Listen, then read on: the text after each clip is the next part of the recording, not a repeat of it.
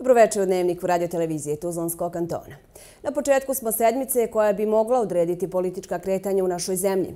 Za sutra je naime zakazana konstituirajuća sjednica Doma naroda Parlamenta Federacije. Ustavni sud Bosne i Hercegovine će 19. i 20. januara nastaviti odlučivanje o apelaciji člana predsjedništva Bosne i Hercegovine Željka Komšića o ustavnosti izmjena Ustava Federacije izbornog zakona koje je u oktobru nametnuo visoki predstavnik. S vama večeras Mirheta Hrvić slijede Vijesti dana. Članovi koordinacije Boračkih savjeza i organizacija Tuzlanskog kantona i veterani 28. divizije Armije Republike Bosne i Hercegovine obišli mezarja na području općine Srebrenica. Imamo podatke da je 57 ljudi poginulo tih dana. To je bila dakle, jedna herojska borba, prekretnica u našem ratu. U Banjoj Luci je održan sastanak pokreta za državu, odnosno stranaka koje su prije izbora formirale koaliciju te zajednički nastupile za Narodnu skupštinu RS-a. Da li će zvanično krenuti proces formiranja vlasti u Federaciji Bosne i Hercegovine? Mi smo kao stranka demokratske akcije utvrdili svoje prijedloge na presjedništvu i e, ja sam predložen za predsjednika kluba Bošnjaka, za podpredsjednika ili predsjednika Federacije predloženi Refik Lendo, za rukovodstvo Skupštine Aida Obuća, za državni dom naroda predloženi su Safet Softić i Šefik Džaferović. Potpisivanjem ugovora sa izvođačima radova u Banovićima počele aktivnosti na izgradnji novih stambenih objekata za izbjegla i raseljena lica. Izvoće se 15 stambenih jedinica, rok za izvođenje radova je 300 kalendarskih dana, te vrijednost projekta je nešto više od 1.800.000 maraka. Na području Tuzlanskog kantona u prošloj godini taksi djelatnost obavljala 482 taksi prijevoznika sa 601 taksi vozilom. Svi oni koji imaju dopunsku taksi oznaku sa naljepnicom na kojoj je označena godina izdavanja, znači da su to legalni taksi prevoznici. Pod sumnjom i sudijski parovi iz Hrvatske i Sjeverne Makedonije. Sutra pretežno oblačno vrijeme sa kišom, na vrhovima planina će padati snijeg. Članovi koordinacije Boračkih saveza i organizacija Tuzlanskog kantona i veterani 28. divizije Armije Republike Bosne i Hercegovine danas su obišli mezarja na području opštine Srebrenica. U mjestu Kraljevoda obilježena je 30. godišnica sjećanja na poginule borce od 16. do 20. januara 1993. godine, gdje je njih 57 izgubilo život. Manifestacija je počela okupljanjem u Memorialnom centru Protečari, gdje je odata počast žrtvama genocida. Članovi koordinacije Boračkih saveza i organizacija Tuzlanskog kantona i veterani 28. divizije Armije Republike Bosne i Hercegovine danas su obišli mezarje na području opštine Srebrenica uz znak sjećanja na poginule borce na području Kraljevode. Evo danas smo ovdje u ovom herojskom mjestu Kragivoda na današnji dan prije 30 godina na ovim prostorima E, na ovim selima Osmaće, Karačići, Jezero, Kragovoda, Osad, vodile se žestoke borbe za odbranu Srebrenici. Riječ je o periodu od 16. do 20. januara 1993. godine. Na današnji dan prije 30 godina dogodila se ta značajna bitka na ovim našim prostorima, bitka za ovaj cijeli gornji kraj, kako ga mi nazivamo. I u toj bitci izgubili smo 57 boraca heroja koji se danas ovaj, sjećamo. Svake godine obilježava se godišnica od pogibije heroja koji su svoje živote dali za odbranu naše domovine Bosne i Hercegovine. Genocidna namjera u Srebrnici se počela realizirati prije 11. jula. Mislim da sjećanje na heroje odbrane Bosne i Hercegovine, na heroje odbrane Srebrnici, na njihove žrtve, na žrtve cijelokupnog bošnjačkog naroda Srebrenice Srednjeg Podrinja je od izuzetne važnosti.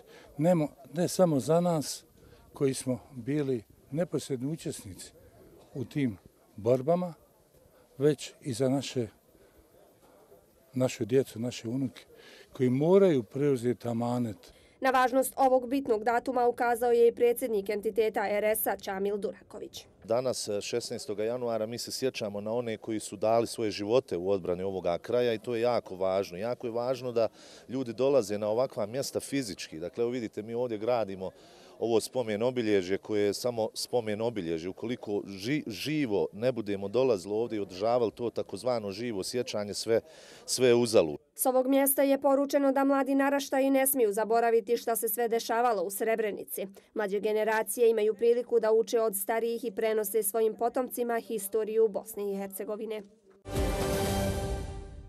Na sastanku predstavnika pokreta za državu koje je održan danas u Banjoj Luci, a kojim su prisustvovali predstavnici većine stranaka članica pokreta, razgovarano je o dosadašnjem djelovanju pokreta unutar Narodne skupštine Republike Srpske, dosadašnjim imenovanjima na određene pozicije i o njegovom budućem djelovanju. Edin Ramić ističe kako pokret za državu nema načina da egzistira sa trenutnim predstavnicima u Skupštine RS-a, jer većinu poslanika ne zanimaju ni stavovi stranaka koje su ih delegirale, kao ni stavovi onih čije glasove su dobili. Podpredsjednik Narodne skupštine Republike Srpske Mirsa Duratović je nakon sastanka izjavio da je poseban akcent bio na prijedlog imenovanja Sevlida Hurtića na poziciju ministra za ljudska prava i izbjeglice u vijeću ministara Bosne i Hercegovine, gdje je pokret sada ostao bez ministarske pozicije u vladi RS-a, a što je bio jedan od uslova za ulazak u skupštinsku većinu i podršku vladi RS-a. Slede razgovori sa premijerom Viškovićem o kompenzaciji tog mandata, ali uslov za podršku vlade Republike Srpske bilo je jedan od tih između ostalog i pozicija ministra u vlade Republike Srpske. Upitan da li je na današnjem sastanku razgovarano o saopćenju stranke za Bosnu i Hercegovinu u kojem je navedeno da pokret za državu nema podrške te stranke, Duratović je kazao da je razgovarano i o tim nekim najavama. Pa ne znam šta je ljudima iz stranke za BiH zasmetalo. Ja sam pročitao neku izjavu da je pokret za državu izgubio svrhu ili smisao djelovanja ono zbog čega je formiran. Kaže da bi volio od predsjednika stranke za Bosnu i Hercegovinu da čuje šta je osnovni motiv, zbog čega oni smatraju da je pokret izdao ciljeve zbog kojih je formiran. Duratović je istakao da pokret za državu nastavlja da radi. Pokret za državu će preživjeti te turbulencije. Dvije, tri stranke mogu izaći, možda će dvije, tri nove doći, ali pokret za državu će nastaviti da radi. Klub poslanika pokret za državu će nastaviti dalje da radi. Član predsjedništva SDA i državni zastupnik Edin Ramić komentarisao je odnose stranaka unutar pokreta za državu, te istakao odgovornost vlastitih stranških kolega u procesu formiranja vlasti. Ramić smatra da će o sudbini pokreta za državu odlučiti osnivači koalicije kao i da se radi o deset političkih subjekata, a ne njihovih predstavnika u Narodnoj skupštini Republike Srpske. Postoji jedan broj ljudi iz SDA koji je rušio vlastite kandidate da bi taj neuspjeh fakturisao nekom drugom, meni ili predsjednicima regionalnih odbora, a danas šuruju sa nekim od poslanika i pružaju im podršku, istakao je Ramić. Zbog svega navedenog, član predsjedništva SDA smatra da će biti veoma teško pokušati ponovo okupiti stranke u neki novi zajednički projekat poput pokreta za državu. Dok čekamo rasplad situacije oko pokreta, Britanci razmatraju nove sankcije vlastima u RS-u i upozoravaju na Dodikove korake ka de facto secesiji. Zastupnica konzervativne partije uputila je pitanja Ministarstvu vanjskih poslova Velike Britanije u vezi sa podrškom koju Milorad Dodik i entitet RS pružaju Rusiji. Velika Britanija je usudila odluku vlasti RS-a da Vladimiru Putinu dodijeli priznanje RS-a. Jasno smo stavili do znanja da je priznanje neopravdano i da rizikuje dalju izolaciju političara iz RS-a, navodi se u odgovoru iz Ureda državnog sekretara za vanjske poslove.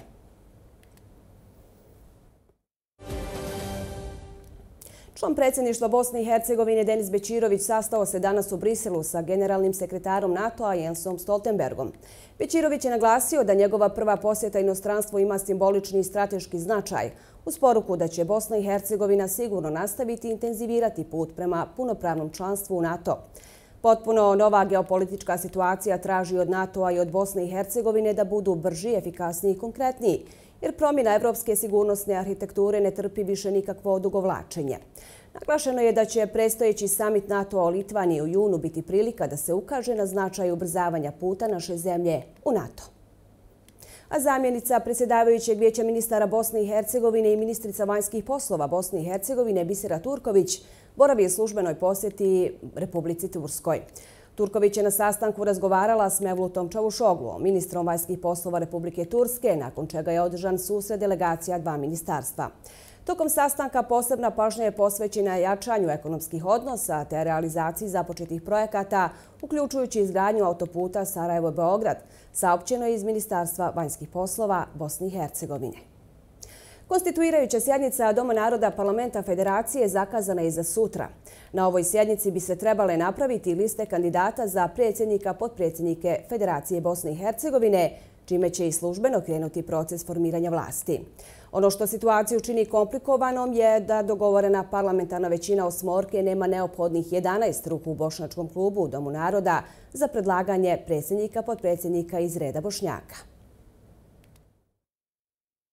Što se tiče dakle, samog e, predsjednika i podpredsjednika federacije, ponavljam kao najvažnije pitanje, tu pravo predlaganja ima e, 11 delegata, najmanje 11, 11 delegata, to je po ustavu novom kojeg je donio visoki predstavnik i SDA tu ima 12, a DF-om 13 zastupnika i evo realno je očekivati da delegata, realno je očekivati kada je u pitanju klub Bošnjaka da bude samo jedna lista ili jedan, jedan prijedlog, što će u značajnom mjeri generirati ili odrediti procese, procese koji slijede i u predstavničkom domu i ponovo u domu, u domu naroda, kada je u pitanju i potvrđivanje izbora predsjednika i podpredsjednika, federacija i dalje imenovanje vlade koje, koje, koje, koju evo, koji prijedlog utvrđuje predsjednik i podpredsjednici federacije. Potpisivanjem ugovora sa izveđačima radova u Banovićima su počele aktivnosti na izgradnji novih stambenih objekata za izbjegla i raseljena lica. Projekat realizuje Federalno ministarstvo raseljenih osoba i izbjeglica i općina Banovići. Radovi bi trebali početi polovinom ovog mjeseca. Federalno ministarstvo raseljenih osoba, izbjeglica i općina Banovići zaključili su ugovore sa izvođačima radova o izgradnji prvog stambenog objekta za izbjegla i raseljena lica. Objekat će se graditi u mjesnoj zajednici Oskova nasilje Brioni, a u okviru projekta zatvaranja kolektivnih centara i alternativnog smještaja putem osiguranja javnih stambenih rješenja CEP2. Radi se o podprojektu 041 Banović koji se izvodi u okviru projekta CEP2, zatvaranje kolektivnih centara i alternativnih smještaja na području Federacije Bosne i Hercegovine, pružanjem javnih stambenih rješenja. Znači, izvoće se 15 stambenih jedinica, rok za izvođenje radova je 300 kalendarskih dana, e, te vrijednost projekta je nešto više od 1.800.000 maraka. Početak radova je zvanično od 23.1. kako smo danas dogovorili. Za neki sedam dana otprilike očekujemo uvođenje drugog izvođača u posao, tako da će biti e, započeto celokupan projekat koji se odnosi znači, na dvije stambene jedinice po 15 stanova i vanjskim uređenjem. Kroz projekat zatvaranja kolektivnih centara i alternativnog smještaja do sada je u općini Banović adaptirano 30 stambenih jedinica i to u naseljenim mjestima Stražbenica, Podgorje i Jezero. Izgradnjom novih objekata omogućit će se zatvaranje jednog od kolektivnih centara na području općine Banović. Ovim projektom mi očekujemo da uh, uspijemo smjestiti iz jednog kolektivnog naselja raseljene osobe. U ovom slučaju vjerovatno će se ići na Ježevac, pošto su gore e, uh, 34 trenutno po evidenciji raseljene osobe, tako da mislimo da bi uh, ovim projektom mogli jedno trenutno naslije da smjestimo ove objekte. Projekat CEF2 se finansira kroz kreditna sredstva Razvojne banke Vijeća Evrope te manjim dijelom kroz učešće entiteta, kantona i lokalnih vlasti. U okviru ovog projekta izgradit će se još jedan objekat sa 15 stambenih jedinica, a ukupna vrijednost oba projekta je preko 3 miliona konvertibilnih manaka. Informativni, edukativni, zabavni. Na webu i društvenim mrežama. Pratite nas na YouTube-u, Facebooku, Instagramu, Twitteru. Posjetite web portal i preuzmite mobilnu aplikaciju. Slušajte radio i gledajte TV emisije. Najbliži vama rtvtk.ba Kućemo o dugogodišnjem problemu nepropisnog parkiranja. Oštre kazne za nesavisne vozače, stalni apeli i kontrole policajaca nisu bile dovoljne da se svijest vozača promijeni. I dalje bilježimo primjere gdje bahato i nesavisno parkiranje može ugroziti živote ili barem otežati kretanja onih koji najviše osjete posljedice takve saobraćene kulture. Gdje su problemi najizraženiji u priči Anele Popići?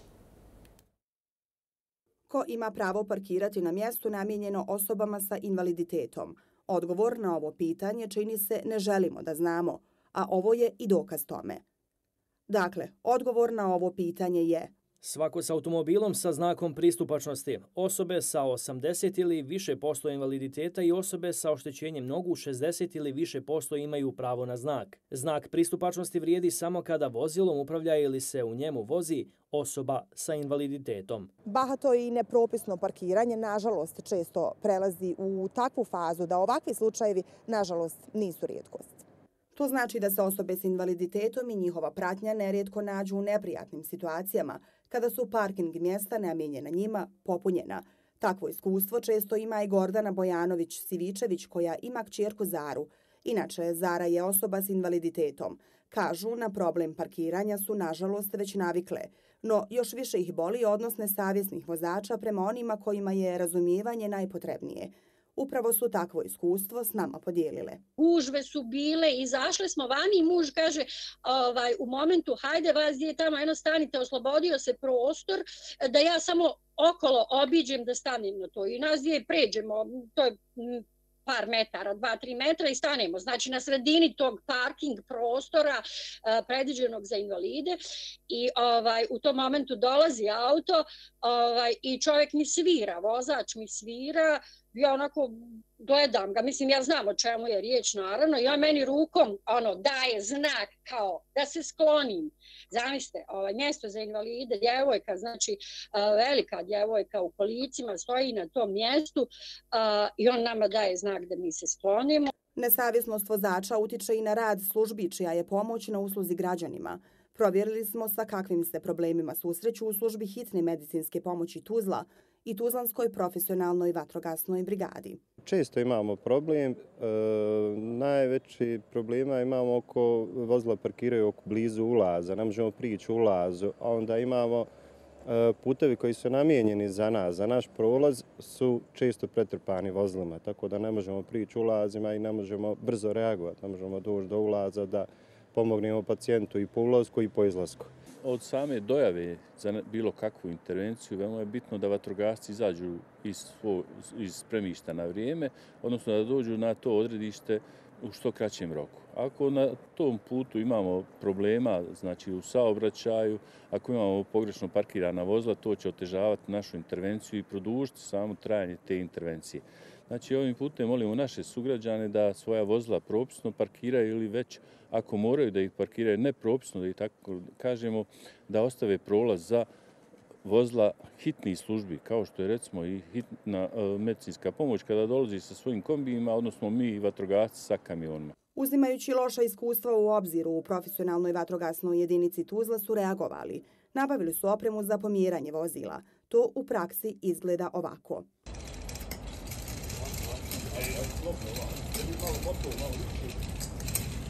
I dok se službe snalaze kako znaju, problem nepropisnog parkiranja treba konkretnije rješenje. Tanka je linija od poštravanja saobraćajnih kazni do apela onih na koje bahato parkiranje direktno utječe. Policija, obezbjeđenja, zakoni, kazne ne mogu baš puno učiniti ako to čovjek nema ovaj, kod sebe urađenog da treba poštovati drugoga. Nepropisno parkirani automobili postali su svakodnevnice na području Tuzle, a kako bi se ovaj problem riješio, nadležno javno preduzeće uskoro će nabaviti specijalno vozilo za fizičko uklanjanje četverotočkaša, takozvani PAOK. Ovo specijalno vozilo trebalo bi biti nabavljeno ove godine, kad bi moglo početi sa saobraćanjem, zna sagovornik našeg Eldara Hurića. Eldare, dobro večer. Dobro večer, mislite i tebi upravo tako. Nepropisna vozila su slike koje svakodnevno gledamo u Tuzli, ali bi se taj problem uskoro mogao riješiti. Vozači koji nepropisno parkiraju svoje vozilo e, pravi velike probleme kako drugim vozačima, tako i pješacima. Ali javno komunalno preduzeće ima u planu da nabavi e, specijalno vozilo koje bi e, trebalo fizički da uklanja nepropisno parkirana vozila, a o tome ćemo svakako u nastavku sa mojim sagovornikom, gospodinom Nedžadom Malikićem iz javno komunalnog preduzeća saobraćaja i komunikacije Tuzla. Gospodine Malikiću, kada govorimo o nepropisnom eh, parkiranju, eh, gdje se to građani najviše nepropisno parkiranju, nepropisno parkiraju kada je riječ o gradu Tuzla? Dobro večer vama i svim našim gledalcima. Pa evo, kada je u pitanju nepropisno parkiranje, ono na što smo mi stavili akcenat, a to je protiv požarni put, vozila hitne pomoći gdje se kreću, isto tako invalidska mjesta na svim našim javnim parkiralištima i također sva e, zavrna parkiranja na području grada Tuzle. Isto tako i sva ostala parkirališta koje ne pokriva javno komunalno predzeće, a naravno u saradi sa inspekcijskim službama grada Tuzle i MUP-om, odnosno policijskom upravom Tuzla, mi ćemo to rešavati. Svakako u narodnom periodu javno-komunalno preduzeće saobraćaja i komunikacije ima u planu da nabavi specijalno vozilo, takozvani PAU, koji će fizički uklanjati vozila koja su nepropisno parkirana. Važno je napomenuti da vi to radite u saradnji sa MUP-om Tuzlanskog kantona. Hoćete li nam objasniti kako će to funkcionisati? Pa mi evo smo u postupku nabavke specijalnog vozila i mi očekujemo u prvoj polovici ove godine da naše vozilo i dođe i da krene u aktivnosti. Sve ono što se bude radilo, naravno, prvenstveno će se raditi u saradnji sa policijskim upravom Tuzla, odnosno upravom TK i policijskim službenicama na terenu, koji će nas, naravno, e, svaki puta pozvati kada to vozilo nuče, napravi prečaj, onda naju nama nalog za podizanje tog istog vozila i da ga mi vozimo na deponovanje dok ne dođe vlasnik da ga preuzme. Kažete nam e, da li imate neke određene cifre koje će građani morati platiti da bi došli ponovo u posjed svog vozila pa- i gdje će biti e, lagerovano to vozilo? E, mi smo planirali i već na tome radimo. Mi imamo u Kojšinu gore jedan prostor koji smo dobili od grada i gdje ćemo naravno u krugu tog svog kruga napraviti još jedan dodatno odlagalište za ta vozila, za nekih 30 od 40 vozila. Isto tako kada je u pitanju cijena samoga toga, vi morate znati da je to bila 120 maraka u prethodnom periodu, kada je Tuzla nekad prije 10-12 godina imala pauk i ja mislim da će to ostati prilike ta cijena. I evo za kraj e, neko vaše mišljenje, da li smatrate da će ovi, da kažemo, bahati vozači i oni koji se nepropisno parkiraju e, početi malo strahovati za svoja vozila ako nastave tako? Pa naravno, to nam je i bio cilj. Nama nije ovdje bio cilj nikada da nabavimo vozilo, da ostvarujemo neka ekstra profit. Upravo nam je bio cilj da sve one prekršajoce na neki način svedemo na minimum, odnosno da sve ono što je potrebno za funkciju jednog grada bude u funkciji svih građana. Gospodine Malikiću, hvala vam. Mi se ta toliko za ovo javljanje iz eh, Tuzle, studio. Eldar, hvala tebi, hvala sagovorniku. U Ministarstvu trgovine, turizma i saobraćaja Tuzlanskog kantona danas je počela podjela dopunskih taksi oznaka za ovu godinu. Na području Tuzlanskog kantona u prošloj godini taksi djelatnost su obavljala 482 taksi prevoznika sa 601 taksi vozilom. Najveći broj prevoznika i dalje je registrovan na području grada Tuzla. U zadnje dvije godine broj vozila koji obavljaju ovakav vid prijevoza se smanjuje, rečeno je ovom prilikom. Podjela dopunskih taksi oznaka aktivnosti koju Resorno kantonalno ministarstvo realizira već dvije decenije, tradicionalno uz dan vozača i automehaničara. Svi oni koji imaju dopunsku taksi oznaku sa naljepnicom na kojoj je označena godina izdavanja, znači da su to legalni taksi prevoznici. E, ono što vidimo u zadnje vrijeme, nažalost, trend nam je da je i u ovoj oblasti sve manje E, prevoznika, to jest e, sve manje taksista, to jest veći broj taksista napušta i ovu djelatnost, e, nažalost, e, i oni traže spas u nekim drugim zemljama. Znači, mi smo do sada, u prošloj godini smo imali nekih 600 taksi vozila na području kantona. Ove godine mislim da će, bar po zahtjevima nadržnje općinskih službi, bit će ih nešto manje. Da bi neko dobio oznaku mora od nadležne općinske službe dobiti rješenje o taksi stajalištu, izmirivati zakonske obaveze, imati licencu ministarstva. Ove godine, kao i prethodnih zbog epidemiološke situacije, oznake dostavljaju poštanskim putem. Na ovogodišnjoj dodjeli stoga smo zatakli tek nekoliko taksista. Da zahvalim e, ministarstvo na žurnosti, e, znači svake godine e, ministarstvo saobraćaja e, čak i prije gradske uprave onaj, pripremi i podijeli e, dopunske taksi oznake. E, otprilike, mi smo najzadovoljniji jednom stvar koju nam je ministarstvo izašlo u susret, a to je da se ne mijenja e, boja taksi oznake. Znači da mijenja se na njemu jel, numeracija godina za tekuću godinu i ono sve što treba, a taksi oznaka ostaje iste boje, tako da su putnici već navikli onaj, recimo, ne znam nija, da je Kalesija zelene boje, Tuzla plavi, kako već ide kojim redoslijedom. I predsjednik udruženja Kalesija Taksi zahvalio se ministarstvu ističući kako već osam godina učestvuju u ovakvoj aktivnosti ministarstva. Svaki godine opština Kalesija je među prvim opštinama Kalesijama koji dostavi svu dokumentaciju za 2023. godinu i samo je bila jedna mala tehnička greška što nismo baš danas i lijepili na naša auta dopunska oznaka kako prirodne godine vjerovate, firma kasila sa izradom dopunskih oznaka. U Tuzlanskom kantonu 34 pravna lica, 450 fizičkih posjeduju blizu 600 taksi vozila. Svaki grad, odnosno općina, imaju svoju boju taksi oznake, a u zadnje tri godine nastojanje je ne mijenjati to radi korisnika usluga. Podjela taksi oznaka za ovu godinu planirana je do kraja februara, dok su od 1. marta predviđene sankcije za neposjedovanje, a koje se kreću od 500 do 1500 konvertibilnih maraka. Od 31. marta ministarstvo će oduzimati licence onima koji ne ispunjavaju uslove. U nastavku dnevnika moguć porast vodostaja na cijelom vodnom području rijeke Save u Federaciji Bosne i Hercegovine. Službama koje provode mjere zaštite i spašavanja ljudi i materijalnih dobara preporučujemo pojačan oprez. Pod sumnjom i sudijski parovi iz Hrvatske i Sjeverne Makedonije. Sutra pretežno oblačno vrijeme sa kišom, na vrhovima planina će padati snijeg. Arhiv Federacije danas je u muzeju Sarajevo otvorio arhivsku dokumentarnu i faktografsku izložbu pod nazivom 9. januar put u genocid. Izložba je prvi put predstavljena javnosti povodom Neustanog dana Republike Srpske. Biće prezentirana u svim kantonima u Federaciji, a nakon toga i izvan Bosne i Hercegovine, posebno za građane koji žive u dijaspori.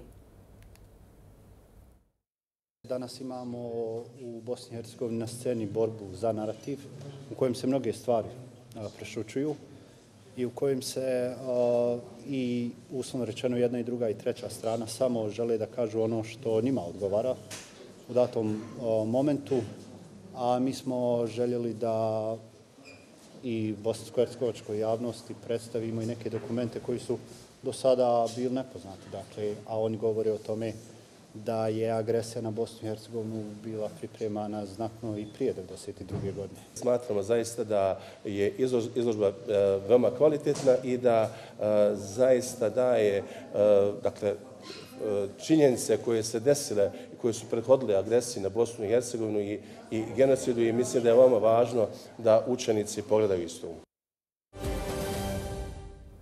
Vremenske prognoze za naredna tri dana nisu povoljne. U ovim danima očekuje se veća količina kišnih padavina. Provjerili smo koja područja bi mogla biti najugroženija ovakvim prognozama. Tuzlanski kanton za sada nije među njima. Iz Federalnog hidrometeorološkog zavoda Bosne i Hercegovine izdato je upozorenje koje se odnosi na očekivanu količinu padavina od 8 i više litara po metru kvadratnom u toku jednog sata – Ovakve prognoze često su glavobolja za područja koja spadaju u rizična kada govorimo o poplavama. Ono što ovakvoj prognozi ne pomaže jesu i najave da bi dodatne probleme mogao stvoriti i jak vjetar.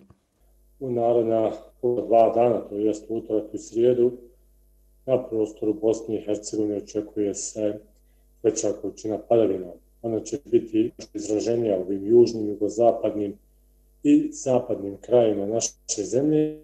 Zaista jedna ona ozbiljnija količina padavina, nešto poput onih padavina koje početkom mjeseca decembra prošle godine. Ovakve prognoze Federalnog hidrometeorološkog zavoda prati i saopštenja Agencije za vodno područje rijeke Save, u kojem stoji da je moguć porast vodostaja na cijelom vodnom području ove rijeke. Prema trenutnom stanju, Tuzlanski kanton nije u opaznosti od značajnijeg porasta vodostaja, No, koja područja jesu? Na Uni e, očekuje se e, bujični vodotoc može mogu izazvati određena plavljenja. To je uglavnom e, područje e, općina Veliki Kladuše, Bužima i, i Cazina. E, što se tiče ostalih e, e, hidroloških stanica, odnosno vodostaja na rijeci Uni, dođe do porasta, moguće da se aktivira stanica Bihać i, i stanica Sanski most, a ovaj, e, ne bi trebalo na ostalim stanicama da dođe do nekog značajnijeg e, ovaj, porasta vodostaja. Što se tiče eh, gornjih dijela eh, sliva rijeke Bosne, eh, na slivu rijeke Fojnice očekuju se bujični, eh, da tako kažem, porast vodostaja na, na bujicama, odnosno na rijekama koje pripadaju slivu rijeke Fonjice, te na, na slivu rijeke Željeznice koja, da tako kažem, većim dijelom protiče kroz teritorij Republike Srpske, a dio koji protiče kroz Federaciju općina Trnovo i očekuje se tu porast vodostaja kada je u pitanju rijeka Drina i u tom području može doći do određenih problema. Padavine koje se očekuju su poprilično uh, ekstremne i uh, nadamo se da će, da tako kažem, pravovremenim ovaj, uh, operativni radom na hidroakumulaciji mratinje izvjeći se situacija da dođe do e, e, nekih poplava kad je u pitanju Goražde i, i Ustikovna. Bez obzira što prema ovakvim prognozama područje Tuzlanskog kantona trenutno nije u opasnosti, Našem području je ipak svojstveno da svaki period jačih padavina dovede obično do izljevanja rijeka iz ričnih korita. Stoga nije na odmet preventivno djelovati. Tako su učinili u Čeliću prije pet dana kada je vodostaj rijeke Šibošnice znatno porastao. Na sreću do većih problema nije došlo, no poruka je jasna, opreza nikad dosta. Da, opreza nikad dosta. Tako je za sutra Federalni hidrometeorološki zavod za područje Tuzle izdao žuto upozorenje zbog vjetra. Budite oprezni informacije koje vam odjavljujemo večerašnje izdanje dnevnika. U nastavku vam preporučujemo sportski i vremenski bilte. Hvala za pažnju i ugodno večer.